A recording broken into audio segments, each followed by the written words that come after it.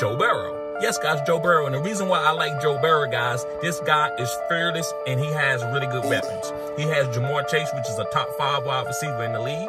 And also, guys, he has Tee Higgins, who I would say was the top 15, top 16 wide receiver in the league. Maybe 24. Who knows, right? But he's still really good. And Joe Burrow has a gun slinger mentality like a Dan Marino. He's trying to go deep every single play. So that's special. Some guys are pocket passers and they just looking to check it down. That can win you fantasy football. I mean, that can win you NFL games, but it's not gonna win you fantasy football championships. Fantasy football championships are won off of big plays, especially when you got a guy, you got a guy going 30 point, 40 point, 40 point, 40 points, 30 points. That's what Joe Burrow can do, and he's competing against these dual threat guys like Jalen Hurts is putting up a bunch of numbers. So I love uh, Joe Burrow.